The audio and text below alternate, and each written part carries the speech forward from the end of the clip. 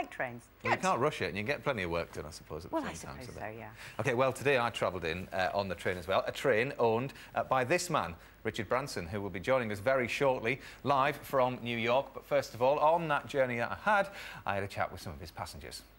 We're Going to take the West Coast Main Line down to work today to see what people on board think of the franchise fiasco.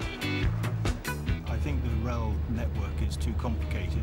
I think the whole ticketing system is too complicated. I think privatisation, privatisation can be good, but only in the right companies. I can't believe the amount of money it costs to go through a tender process. Yeah. And then secondly, I'm disappointed that um, um, the Virgin, initially at least, have lost the franchise. Well, these trains are generally good, but uh, the price of the train tickets are ridiculous to start with. What's your question for Richard Branson? Why shouldn't we bring back British Rail?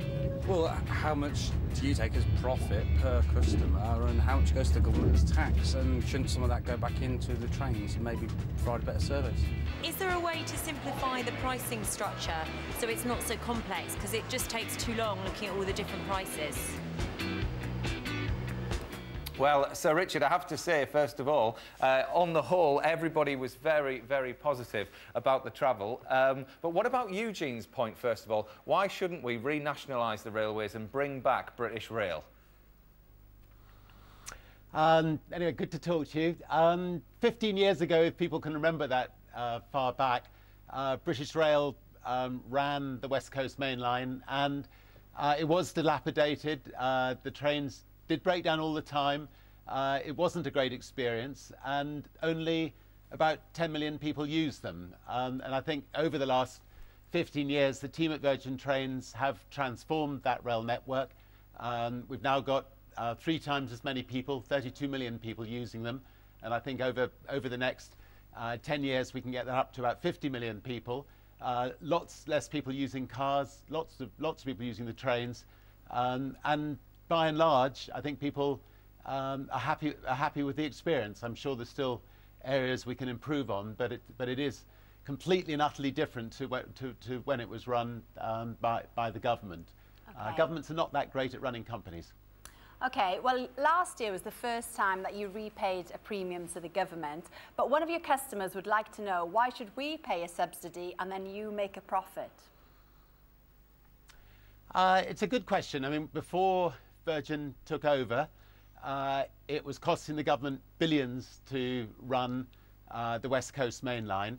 Um, we have offered to pay the government uh, over 11 billion over, over the length of the new franchise. So, um, because there's so many extra passengers actually using the West Coast franchise, um, instead of it um, being subsidized by uh, the taxpayer, uh, the taxpayer now can literally get bil- billions back. And, and you know, that's because we managed to get so many extra people to use the trains. And Sir Richard, is it possible to simplify the price structure? I mean, so many people that I talk to are saying, you know, one day it costs this, another day it costs this, it's cheaper online than it is buying from the counter. Well, the, the, what we've tried to do uh, is to compete with airlines, bring in, bring in airli- airline t- type of uh, travel so that you know, elderly people, students who don't have to travel uh, at peak times like the, bus- the business person has to, uh, can get really cheap fares. And, uh, and the average fare on Virgin is actually very low. But if you, you know, effectively what's happening is that businesses who um, have their bu- business travelers traveling at the peak times are subsidizing us to, to be able to bring in really cheap travel uh, when, when, the, when the trains are often reasonably empty. So I think you do need, uh, you, know, you do need that mixture. Otherwise, what happens is uh, you just have massive overcrowding um, and, uh, and people standing uh, you know, at, at peak times. So what we're trying to do is spread uh, the amount of people out throughout the day. Okay, thank you very much, Richard. Thanks for joining Thank you very much. Thank nice to talk to you. Have a good time. Now, the RSPCA